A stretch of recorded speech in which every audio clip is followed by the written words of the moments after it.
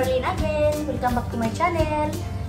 So guys, ang vlog po natin for today is magtatanim tayo ng onion and alugbat.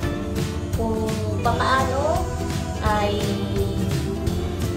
ganito lang po ang gagawin natin. Simpleng um, pagtatanim at for sure na matutuwa kayo at uh, masasabi nyo kahit saan pala talagang pwede, hindi lang pwede tanim sa lupa or pwede sa sa tabi ng dagat, sa tabi ng ilog, dito sa loob ng kitchen, pwede pwede po. At mabubuhay po siya na 100%. So, kasi dito sa Kuwait ay sobrang init, hindi po tayo makapagtanim sa labas ng mga kahit na anong halaman o pananim o mga gulay kasi isang araw pa lang lanta ng iyong pananim. Okay? So, ganito lang po ang gagawin natin. Ang kailangan na po natin ay puti. So, ituloy natin to.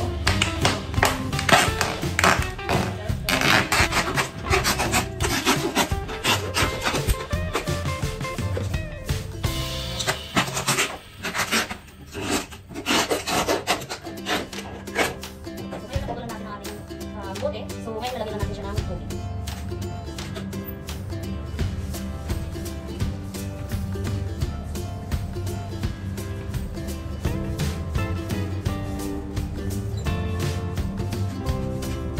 Na guys ang ating may tubig. So, ito na guys, ilalagay na natin ang ating ito water. So, dapat every other day, uh, change mo yung water. Okay, so ito na ang gagawin natin dito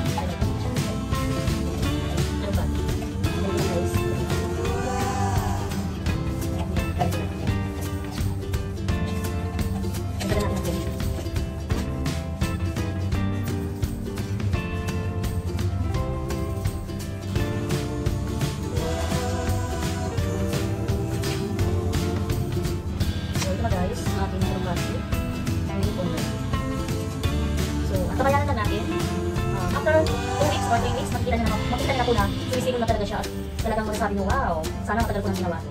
Okay guys, so ito na po. Ganito lang po kasi. Hello! Hello, hello, hello! Shout out sa lahat!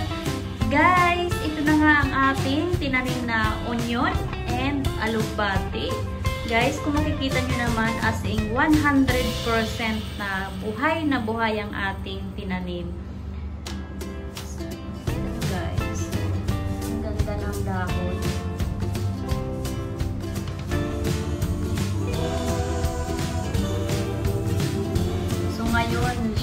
Tayo ng pangsangkap ng ating mga lulutuin.